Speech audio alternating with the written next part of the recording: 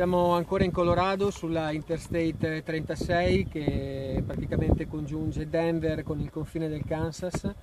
e lungo la strada ci siamo imbattuti in un allevamento di, di bisonti e diventa una buona occasione per, così, per, per ricordare che in realtà la, la, caccia al bisonte, lo sterminio del bisonte nelle grandi praterie del Kansas e del Colorado in realtà è durato molto poco, molti hanno la sensazione, abbiamo la sensazione guardando, guardando i film che sia stato un periodo molto lungo, in realtà la caccia è durata più o meno dal 1870 al 1884 eh, tant'è che già dal 1870 al 1878-79 nei territori del Kansas, che sono stati i primi, Kansas e Nebraska, che sono stati i primi ad essere interessati dalla caccia al bisonte e dallo sterminio, ecco dal 78-79 i cacciatori si sono poi spostati in, eh, in uh, Wyoming, in Dakota, in, uh, in Montana. Uh, è un animale bellissimo, molto particolare, impressione